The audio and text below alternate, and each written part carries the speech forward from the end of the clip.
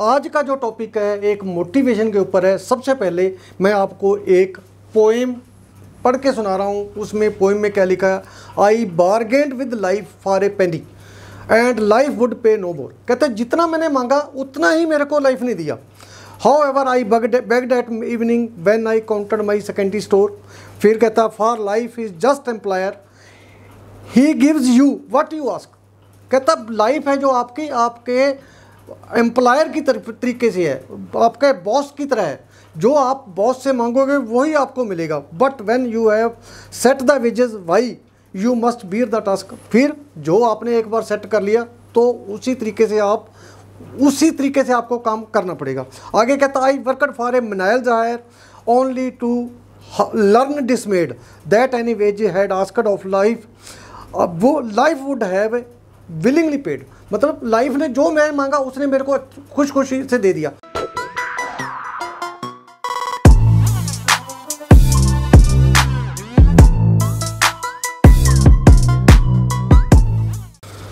हाय दोस्तों, राजवंश सिंह माली प्रॉपर्टी गुरुकुल में आपका बहुत बहुत स्वागत करता हूँ। बात अभी इस इस पोइम से बात ये आगे शुरू होती कि हम लाइफ से मांगते क्या हैं? जो हम लाइफ से मांगते हैं, उससे हमें कहीं ज़्यादा मिल सकता है, लेकिन हम मांग ही नहीं सकते। कुदरत के पास तो क्या नहीं है, सब कुछ है। कुदरत से जो जो मर्ज़ी मांग। कुदरत को ये नहीं पता कि ये चीज़ महँगी है या सस्ती है। वो तो जो आप मांगते हो, जो आपके दिमाग में आती है, वो आपको मिल जाती है। सबसे पहले रॉबर्ट क्योस्की जो जब 12 साल का था, अपने रिच डैड के साथ काम करता है तो वो उसको बहुत कम पैसे देते हैं। तो उसको बहुत कम पैसे देते हैं तो जाके वो शिकायत करता है कि मेरे पास जो आपने मेरे को तरक्की देने का वादा किया था, मेरे को सिखाने का वादा किया था, वो पूरा नहीं कर रहे। उल्टा मेरी लूट कर रहे हो, मेरे को पैसे कम दे रहे हो। तो उसका फादर कहता है कि यदि आप मेरे से ना मांगते तो मैं आपकी सैलरी कभी बढ़ाने वाला नहीं था। उस दिन से उसकी सैलरी बढ़ाई और उसकी ग्रोथ हुई। उसके बाद डेविड जे सकवाड ने बुक लिखी है, the magic of thinking big. उसमें उसने लिखा है कि इंटेलिजेंट होते हुए भी सबसे अपने दोस्तों की सर्कल में गरीब था। क्यों? क्योंकि मैं उनसे मांग ही नहीं सकता था अपने जो एम्प्लॉयर थे। तो जिस दिन मैं इंटरव्यू देने गया तो मैं इन इंटरव्यू में जाके जो मैं एक्सपेक्ट करके गया था उससे दस गुना पैसे मांगे और मेरे को मिले। मतलब जो आप मांग रहे हो वही आपसे मिलता है। यही इस पोइम का जो तात्पर्य है। जो इस इस पोइम का पोइम का सारांश भी यही है। सो so, दोस्तों मॉरिस ई गुडमैन जब उसका एक्सीडेंट हो गया 1981 में तो उसने, उसको क्या हुआ? तो उसने, उसके मतलब बुरी तरह फ्रैक्चर हो गया। लेकिन उसने अपने दिमाग में एक बात मांगनी शुरू कर दी। आपने कुदरत से एक दिमाग मतलब बात मांगनी शुरू कर दी कि मैं अपने पाँव पे उठ के जाना चाहता हूँ, हॉस्पिटल से जिस दिन डिस्चार्ज दूँगा तो दोस्तों, जो डॉक्टरों को उम्मीद नहीं थी, वो उसकी उम्मीद पूरी होगी। और जो जैक कैनफील्ड है, जिसने चिकन सूप बुक लिखी है, वो आदमी कहते दस लाख डॉलर की बात कर रहा वो कहते दस लाख डॉलर मैंने लिखा एक बार तो दस लाख डॉलर मेरे को मिल गया।